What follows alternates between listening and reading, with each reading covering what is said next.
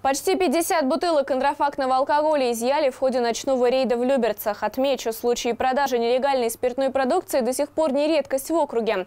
Поэтому Управление торговли совместно с правоохранительными органами продолжают эту работу. Об этом сообщает местный портал «Риама», цитируя главу Владимира Ружицкого.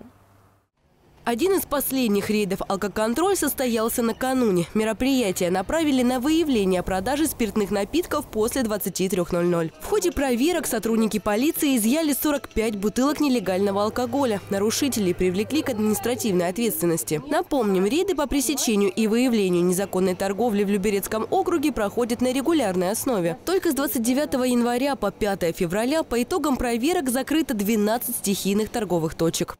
Анна Троян, Никита Скраган, телеканал ЛРТ. Всем привет, я Луиза, вы смотрите телеканал ЛРТ. Подписывайтесь на наш канал на ютубе, ставьте лайки и комментируйте. И вы будете в курсе самых интересных событий.